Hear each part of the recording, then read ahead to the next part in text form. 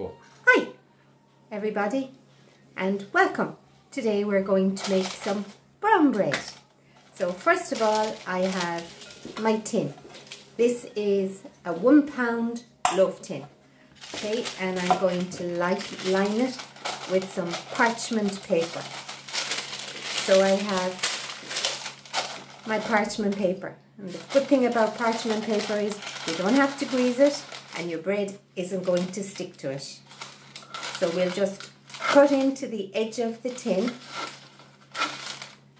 just like this, and we'll just trim off a little bit of the parchment paper because it's too long. And if you have a gas oven, there's likelihood of it going on fire. And just again on the other side, in. So you actually have your piece of parchment paper and it's just cut a little bit in, maybe two or three inches in and two or three inches in on both ends so that it should sit down and into your tin. Like that. Okay, and we do this just in case you have uh, a loaf tin that's well used and the non-stick no longer works on it. So that's our tin ready. So we can just leave that over there for a couple of seconds. And we have a mixing bowl and we have a mug. A good old-fashioned common or garden mug. Now, you want to have some strong wholemeal flour or whichever preference in wholemeal flour you have. This recipe also works really well with spelt flour. So we put in three quarters of a mug of our wholemeal flour and if we gener generously top that up with white flour. If you want a very strong brown bread then just use all wholemeal flour. So have your cup so that it's overflowing almost with flour into your bowl.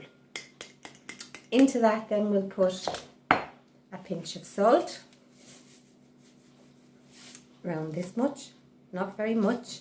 And again, we're using the reduced sodium salt. Now, if you want to, you can put a spoon of sugar into it, um, but I don't think um, we really need to do that. Then here I have some measuring spoons. So I'm going to use a half a teaspoon of cream of tartar. Okay, so just a half a teaspoon and level off your spoon and into your mixture. Then into it I'm now going to add a teaspoon of bread soda. And again level it off so that you don't have too much because I'm sure at some stage everybody has had brown bread that's got those little green flecks in it. Then we're going to add into this mixture just a knob of butter or margarine and a knob is about 10 grams if you want to measure it, if you want like to weigh it. Now just rub that into your flour and lift up your flour to aerate it. Rubbing in the rubbing in your margarine or your piece of butter with the tips of your fingers.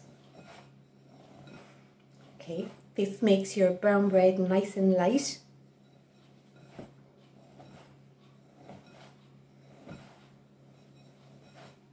It's a nice relaxing thing to do.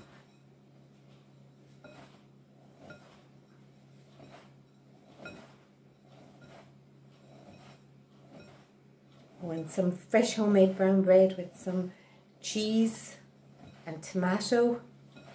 Really nice for your tea or your supper.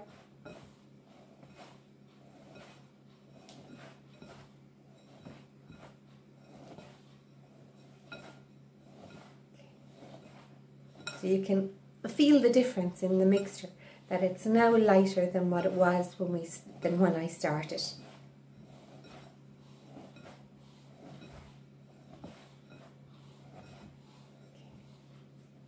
And into that I'm going to add milk. I can find my milk. Sorry, just a moment.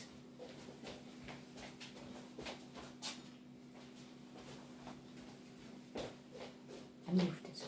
So it's a half a pint of milk and if you pour it into the mug that you measure the flour with, it should come up to about this much on your mug. Okay, then I have a spatula, a nice silicone soft spatula. Make a well in the center and add in your milk. Almost all of it. And then add the rest.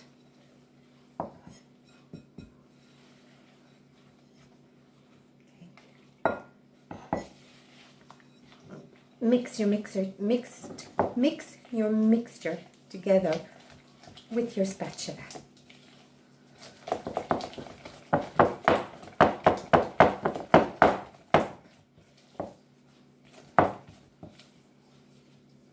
Your mixture will be nice and soft.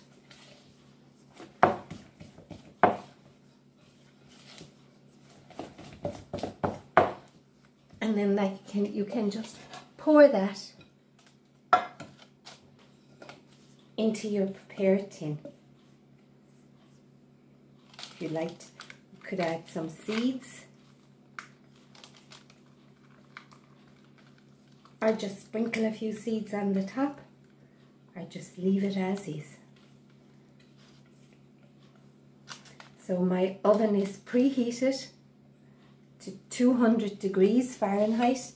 That would be gas mark 6.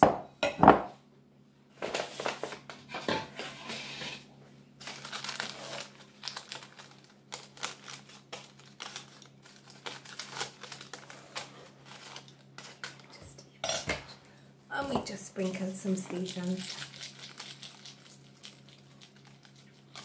So into my oven at 200 degrees after 10 minutes turn your oven down to 180 and 35 minutes more and I'll show you then how you know if it's baked.